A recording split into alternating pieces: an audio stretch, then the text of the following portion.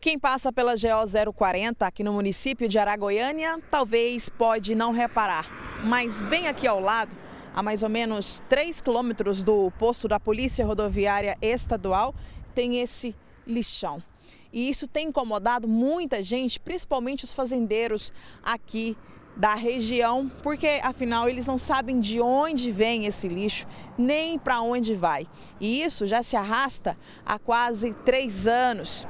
O senhor Manuel Arcanjo, ele é advogado, é fazendeiro aqui próximo e ele chegou a mover uma ação contra a prefeitura, pedindo que todo esse lixo seja retirado dentro dos próximos cinco dias. De uns quatro anos para cá, essa situação se perdura aí dia a dia, semana a semana e assim vem vindo.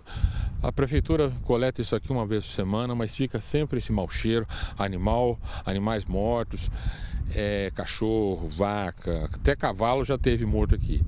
E fora os outros uh, sofá, restos, enfim, vários tipos de lixo.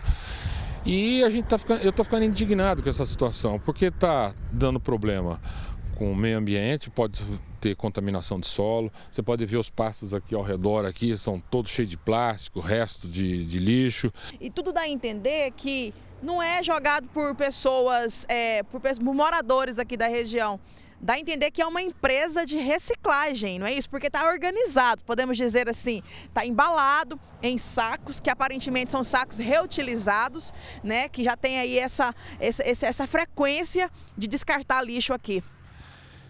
Esse aqui ainda está sendo um fato excepcional, mas acontece o seguinte: não é só esse tipo de lixo, é todo tipo de lixo. Inclusive, todos os moradores já têm o vício. Já, é, é normal colocar o lixo aqui, porque a prefeitura não tomou nenhuma atitude com relação a isso. Deve, é, eu, no meu entender, deveriam colocar-se é, colocar containers, colocar é, placas de conscientização né, da população.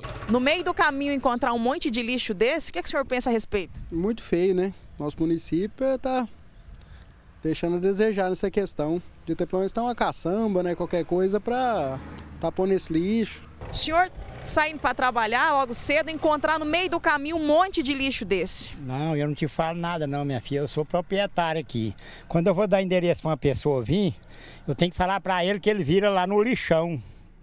Porque isso aí é direto desse jeito aí, ó. Você tá entendendo? Isso aí é um descaso. É um...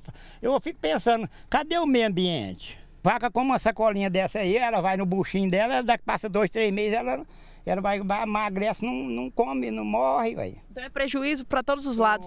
E outra coisa, eu, eu, acho que isso aqui é uma falta de respeito com quem tem propriedade aqui por perto. Ó. O senhor trabalha aqui tem muito tempo na reciclagem? Tem cinco anos que eu moro aqui. E o senhor sabe de quem que é esse lixo aqui? Sei não, porque tem muito, tem muito dono de depósito que ajuda a reciclagem aqui pro lado do Aqui tem umas fazendas, lá pro lado de Aragoiana, um bocado de canto. Só que tem uns dias que, que tem um, um lixo que. Esquisito, estranho. É, é, tem vaca morta, é porco morto, é galinha morta demais da conta. É, então, ajuda muito inseto. O seu Anastácio está fazendo a parte dele, né? Ajudando aí no meio ambiente, retirando o lixo daqui, ganhando um dinheirinho, mas ele também disse que não sabe de quem é esse lixo. Encontrou no meio da rua. É, encontrei aqui.